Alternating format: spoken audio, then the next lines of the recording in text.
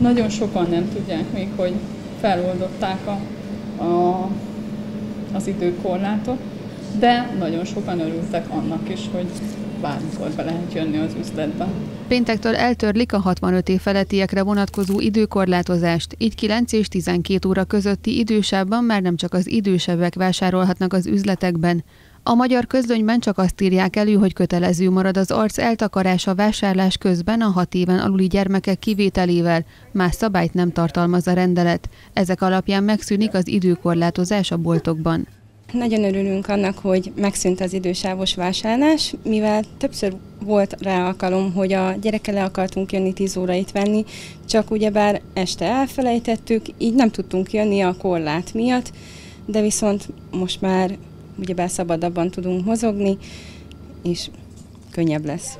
Az egyik helyi üzlettulajdonos tapasztalata, hogy a vásárlók nagyon várták az időkorlát feloldását, az idősebb korosztály éppen úgy, mint a fiatalabbak.